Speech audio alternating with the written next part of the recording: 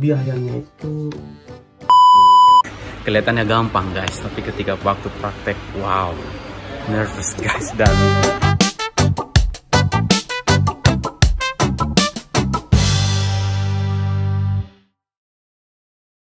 Wow, wow, wow, halo guys. Ini video yang selanjutnya lagi guys, aku lanjutin nih. Video yang terakhir yaitu menjelaskan tentang pekerjaan aku. Sekarang aku jelasin lagi beberapa aturan, bukan aturan sih, kebutuhan kalau teman-teman mau bekerja di perusahaan-perusahaan dan mau mengembangkan mengembangkan bakat. Aku pengen ngembangin lagi dengan cara nambah lagi hal-hal yang baru gitu. Beberapa bulan yang lalu aku sudah ambil white card. White card itu apa gitu guys?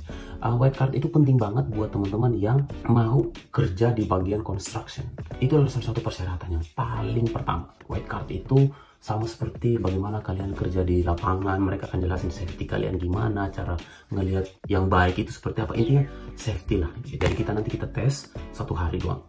Dan itu seumur hidup dia guys murah kok 90 dolar gitu white card. Jadi ketika tes dan seleksi udah lulus satu minggu kemudian udah keluar kartu jadi ketika teman-teman mau apply uh, construction bisa tunjukin itu dan kita udah tercantum nama kita di situ. Itu untuk white card kan? Nice ini yang kedua lagi yaitu tentang aku udah ambil juga di dua bulan yang lalu sebelum gabung di perusahaan ini yaitu di Reserco. Aku udah ambil forklift juga guys. Ini sangat penting banget buat kalian karena uh, hampir semua perusahaan di Australia sini itu punya forklift. Apalagi di perusahaan-perusahaan company besar guys, pasti ada forklift. Nah forklift ini aku ambil juga tesnya di uh, di Wingfield, dekat banget dengan pekerjaan aku sekarang guys di Wingfield. Oke, okay. nah dulu aku pernah tes di situ dua hari tesnya guys, dua hari bisa ada dua pilihan, bisa kalian hari uh, next day weekday bisa contoh Senin Selasa atau Rabu Kamis kayak gitu. Bisa.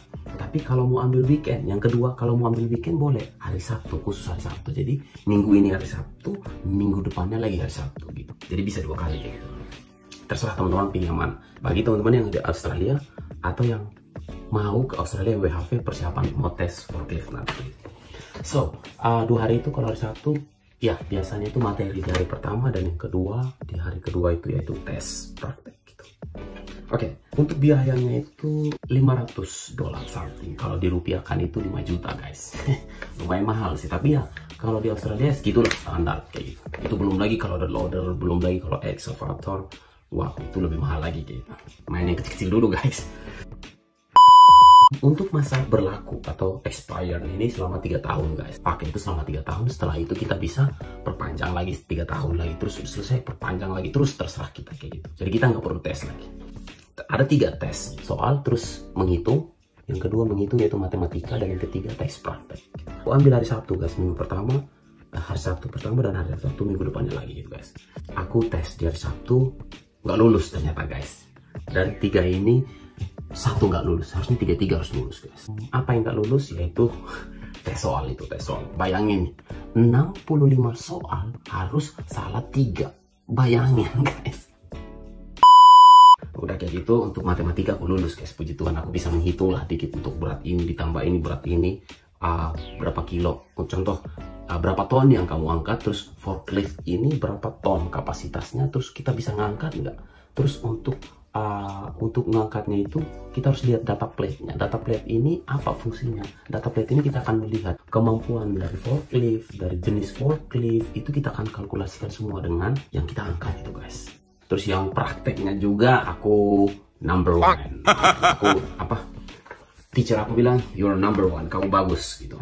Nah, karena ketika aku praktek aku langsung cepat set set set set set, set tembus karena bisa menurut aku.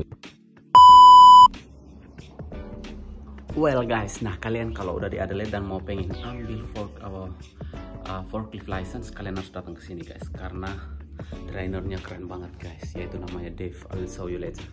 Ini namanya. Yes, kalian bisa googling dan lihat.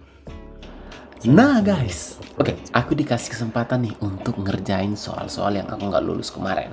Setelah itu aku udah lulus, aku dikasih sertifikat dari kantor tersebut dan dikasih surat lagi untuk pergi ke service SA untuk ngeluarin license tersebut guys. Tunggu lagi dua minggu guys, tunggu lagi dua minggu baru kita dapat license-nya. Untuk license-nya aku tunjukin ke kalian guys ya.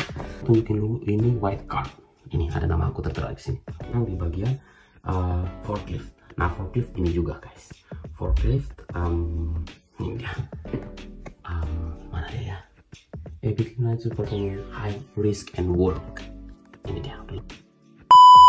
dan lumayan senang aku senang bangga sih senang bisa dapat kartu ini karena susah. Dan ketika aku mau bisa ke bidang construction belajar-belajar bisa langsung masuk karena ini sampai seumur hidup. Dan ketika aku mau apply uh, mau kerja di bidang di bagian forklift aku bisa tinggal masukin aja kayak gitu. tinggal kasih mereka udah tahu kayak gitu. Oke okay, nanti selanjutnya lagi mungkin aku akan coba lagi untuk apa ya loader atau excavator tapi itu waktu lama juga sih tapi apa lah udah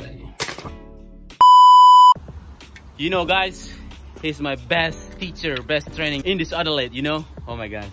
I love it. His name is Dev. yes. Forklift teacher. Kalau kalian mau ke sini guys, pasti kalian ketemu dia. Wajib kalian harus ketemu dia guys, karena keren banget cara ngajarnya. Uh. Oke. Okay. Uh, eh, itulah ya guys, saya cerita aku. Jadi saran aku kalau kalian masih pengen untuk mengembangkan diri kalian silahkan kalian ambil forklift atau tes forklift atau tes white card kayak gitu. Oke okay, itu dulu ya video guys. Aku guys ya semoga bermanfaat buat kalian dan semoga itu jadi tambah wawasan atau jadi penyemangat juga buat kalian yang udah di Australia maupun yang masih dari Indonesia working holiday visa mau ke Australia.